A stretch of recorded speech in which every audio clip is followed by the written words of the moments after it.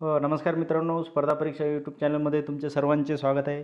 तर आपण मित्रांनो पशुसंवर्धन विभाग भरती म्हणजे पशुधन पर्यवेक्षक तांत्रिक विषय दररोज चाळीस प्रश्नाची सिरीज सुरू केलेली आहे जे की आपण सर्व चाळीस प्रश्नचा एक व्हिडिओ दररोज आपल्या चॅनलला अपलोड होतो. वैशिष्ट्य एवढंच आहे की सर्व प्रश्न नवीन असतात आणि आय बी पी एस आणि टी सी एच पॅटर्ननुसार मध्यम काठिण काठिण्य पातळी लेवलचे आणि वेगळ्या प्रकारचे आणि महत्त्वाचे प्रश्न आपण दररोज चाळीस प्रश्न आपल्या चॅनलला घेत असतो. तर आज आपण चाळीस प्रश्न बघणार आहोत की जे की सर्व प्रश्न नवीन आहेत याचा उपयोग तुम्हाला नक्की होईल. तर चला मग लगेच सुरुवात करूया. तुम्ही जर नवीन आहात तर प्लेलिस्ट प्लेलिस्टमधील सर्व व्हिडिओ बघा मित्रांनो. पशुसंवर्धन टॉपिकमध्ये पूर्ण चाळीस पशुसंवर्धन संबंधित व्हिडिओ आपण टाकलेले अपलोड केलेले आहेत जे की अतिशय महत्त्वाचे आहेत. आपण आतापर्यंत वीस ते तेवीस सर्व सराव प्रश्नपत्रिका घेतलेल्या आहेत मित्रांनो. आपला हा मला कला कदाचित वाटतं तेवीसवा दिवस आहे. आपण त तुमचा वेळ वाचावा म्हणून एकोणीस प्रश्नपत्रिका तुम्हाला सर्वांना माहीतच आहेत प्लेलिस्टमध्ये तुम्ही जाऊन बघू शकता. आय बी पी एस पॅटर्ननुसार एम सी क्यू स्वरूपामध्ये वन लाईनर सातशे पन्नास प्रश्न आहेत मित्रांनो जे की एकोणीस प्रश्नपत्रिका येतात त्याचे एकोणीस पी डी एफ आपण बनवलेले येतात तर ते सदर आपण एकोणीस पी डी एफ एकूण शंभर रुपयामध्ये देणार आहोत मित्रांनो. तर आम्ही माझा फोनपे आणि गुगल पे नंबर दिलेला आहे चौऱ्याण्णव तेवीस सदोतीस पासष्ट एकसष्ट. तुम्ही श- शंभर रुपये पाठवून स्क्रीनशॉट व्हॉट्सअपला पाठवू पाठवू शकता मी लगेच तुम्हाला लगेच एकोणीस पी डी एफ तुम्हाला पाठवू शकतो. किंवा जर तुम तुमच्याकडे भरपूर वेळ असेल असे पण पेपर एक महिना होणारच नाही. तुमच्याकडे जर भरपूर वेळ असेल तर तुम्ही तुमच्या नोटबुकमध्ये लिहू शकता किंवा तुमच्या बुकमध्ये याच्या याच्या प्रश्नांमधलं वेगळं कोणता घटक आहे ते तुम्ही पेन्सिलनं किंवा पेनांना मांडून लिहू शकता. तर तुमचा वेळ वाचा म्हणून हे एकोणीस पी डी एफ बनवलेलं आहे. था म्हणजे तुम्हाला परत व्हिडिओ बघण्याचं काम नाही. तर मग लगेच आपण आज सुरुवात करूया. आजचे चाळीस प्रश्न घेऊया. तुम्हाला जर आजचे प्रश्न आवडले लाईक शेअर सबस्क्राईब नक्की करा. चल तर चला तर मग लगेच सुरुवात करू. काल आपण मित्रांनो पशुरोग संबंधित अकरा जीवाणूजन्य रोगाची माहिती बघितली होती. अतिशय महत्त्वाची सर्व पुस्तकाचं एकत्रीकरण करून. तर याच्यामध्ये जीवाणूजन्य अजून पशु संबंधित चार ते पाच रोग राहिलेले आहेत मित्रांनो जे की महत्त्वाचे नाहीत. त्याचीसुद्धा आपण माहिती विषाणूजन्य रो रोगाच्या व्हिडिओमध्ये टाकणार आहोत. म्हणजे आपले चौदा ते पंधरा जीवाणूजन्य रोग कंप्लीट होतात. त्याच्या बाहेरच्या परीक्षेमध्ये प्रश्न विचारला जाऊ शकत नाही प्रश्न क्रमांक पहिला देशी पशुधन वाचवण्यासाठी शासनाकडून कोणता कार्यक्रम सुरू करण्यात आलेला आहे? अतिशय महत्त्वाचा कार्यक्रम आहे मित्रांनो. या प्रश्नामध्ये याचं उत्तर मिळून जाते. कारण देशी पशुधन वाचवण्यासाठी शासनाकडून कोणता कार्यक्रम सुरू करण्यात आलेला आहे? तर अनुवंशिक सुधारणा कार्यक्रम सुरू करण्यात आलेला आहे. कारण प्रत्येकाला आपला वंश वाचवण्यासाठी काळजी राहिलेली असते. मग त्यांचा पण प्राण्याचा पण वंश वाचवलं तर पुढची पिढी टिकू शकते. त्याच्यामुळे अनुवंशिक सुधारणा कार्यक्रम सुरू करण्यात आलेले आहे शासनाच्या वेबसाईटवर या अनुवंशिक सुधारणा कार्यक्रमाबद्दल तुम्ही इतर पण महत्त्वाची माहिती घेऊ शकता. सी एम टी टेस्ट कोणत्या रोगासाठी करतात? तर कालदा किंवा स्तनदा या रोगासाठी करतात. तर C M T C M टीचं फुल फॉर्म काय आहे? कालच्या पशु जीवाणूजन्य रोगामध्ये तुम्ही बघू शकता. अंगोरा सानेन जमुन प्रश्न क्रमांक तीन. अंगोरा सानेन जमुनापरी मराळी कशाच्या जाती आहेत? तर ह्या शेळीच्या जाती आहेत. आता इथं काय होते? अं, आणि सानेन वाचल्यानंतर तुमच्या लगेच लक्षात राहते की शेळीच्या जाती आहेत. मग पुढचं तुम्हाला वाचण्याचं काहीच करायचं काम नसते. डायरेक्ट उत्तरावर क्लिक करायचं असते. इथं तुमचा वेळ वाचू शकतो. चार नंबरचा प्रश्न बघूया. बर्सिम बर्सिमिया वैरणीसाठीच्या चारा पिकाचे वैज्ञानिक नाव काय आहे? तर वैज्ञानिक नाव आहे ट्रायफोलियम आलेक्ट्रा अलेक्झांड्रियम. नम.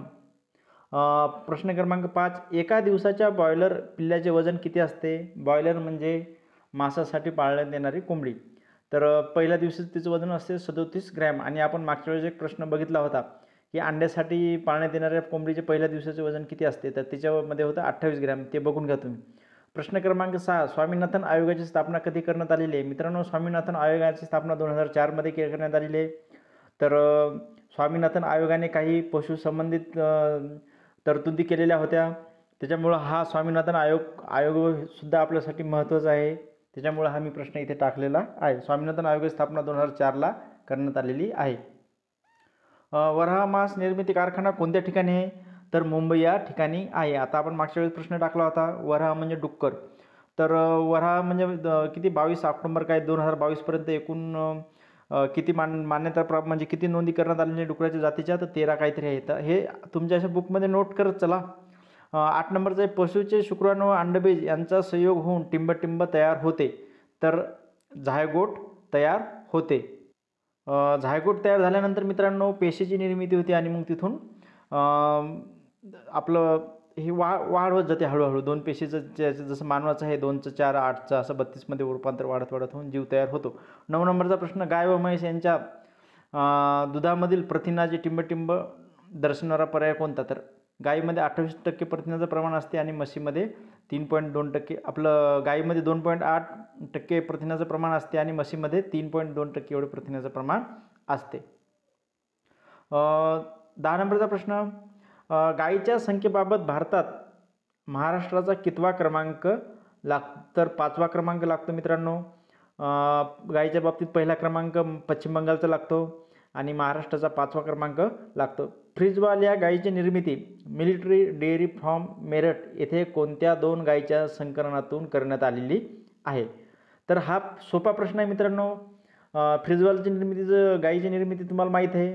तर फ्रिजियन सेवल पुढचं तुम्हाला वाचण्याची गरज राहत नाही. पण इथं मी याच्यासाठी दिलं की तुम्हाला हे माहीत पाहिजे. फ्रीजवाल गाईची निर्मिती कोणत्या डेअरी फॉर्ममध्ये करण्यात आली तर मिलिटरी डेअरी फॉर्म मेरठ इथे करण्यात आलेली आहे. बारा नंबरचा प्रश्न.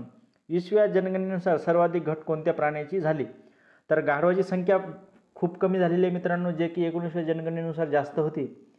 तर ती वजा एकसष्ट पॉईंट तेहतीस तेवीस टक्क्याने कमी झालेली आहे. प्रश्न क्रमांक तेरा. शासकीय अंडा उपजत केंद्र कुठे आहे? तर अमरावती येथे आहे. चौदा नंबरचा प्रश्न जनावरावरील गोचिडे निर्मूलनासाठी कोणते औषध वापरतात? तर सायपर मे मे मे सायपर मेर्थ्रिन नावचा वापरतात मित्रांनो औषध. लंपी व्हायरस हा रोग जनावरांना कशामार्फत पसरतो? तर खूप महत्त्वाचा प्रश्न आहे विषाणूजन्य रोग आहे. आपल्या भारतामध्ये एक लस तयार करण्यात आलेली विदेशामध्ये एक लस आहे आणि दोन हजार एकोणीसमध्ये भारतामध्ये पहिल्यांदा तो रोग आला होता. त्याच्यानंतर महाराष्ट्रामध्ये जास्त प्रसार झालेला आहे त्या रोगाचा. तर याच्याबद्दल बदबद्दल आपण अतिशय महत्त्वाची माहिती जीव विषाणूजन्य रोगामध्ये बघणार.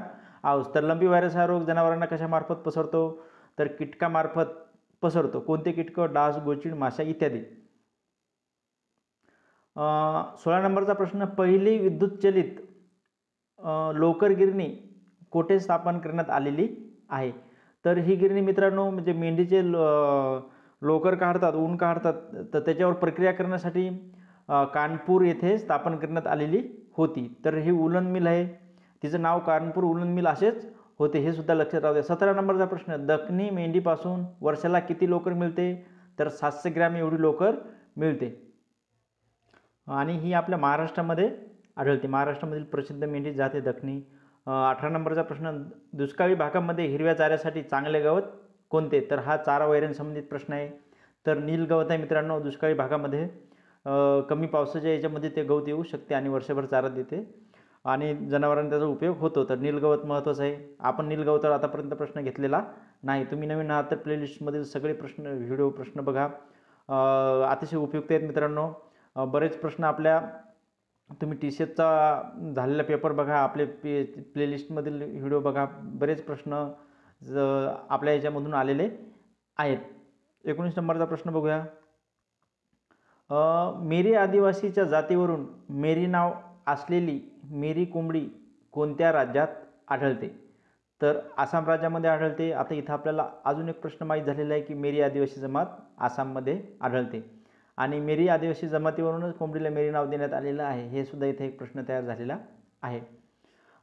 वीस नंबरचा प्रश्न विरल वीर्य साठवण्यासाठी टिंबर टिंबर डिग्री सेल्सिअस तापमान चांगले असते तर दीड पॉईंट दीड डिग्री सेल्सिअस तापमान चांगले असते एक पॉईंट पाच. एकवीस नंबरचा प्रश्न मिल्क कॅपिटल किंवा दुधाची राजधानी म्हणून कोणत्या देशाला ओळखतात? तर भारताला ओळखतात मित्रांनो सहजिकच आहे की सर्वाधिक दूध भारत उत्पादनामध्ये म्हणजे भारताचा पहिला नंबर लागतो. आपला टेस्ट सिरीजचा प्लॅन चालू होता मित्रांनो. तीच टेस्ट सिरीज दोनशे रुपयामध्ये. तर त्याच्यावर काम चालू आहे प्रोसेस. पण ते बघू आपण. ते चालूच राहील. पण आपले हे चाळीस दररोज सराव प्रश्न हीच टेस्ट सिरीज तुम्ही समजून समजून चला. तर काही अडचणी असल्यामुळे त्याच्यावर प्रोसेस चालू आहे. तर मी तुम्हाला त्याच्याबद्दल व्हिडिओ बनवून किंवा मॅसेज करून हे ते करून सांगेलच. बावीस नंबरचा प्रश्न महाराष्ट्रातील पहिले रान म्हशीसाठीचे अभयारण्य कोणत्या जिल्ह्यात आहे? तर गडचिरोली जिल्ह्यामध्ये आहे मित्रांनो. शेतीकाम व दूध उत्पादनासाठी उपयुक्त महाराष्ट्रातील जाती कोणत्या? तर देवणी व गवळव ह्या महाराष्ट्रातील जाते तर गवळव विदर्भामधले देवणी मराठवाड्यामधली काय आहे? एवढं लक्षात ठेवा.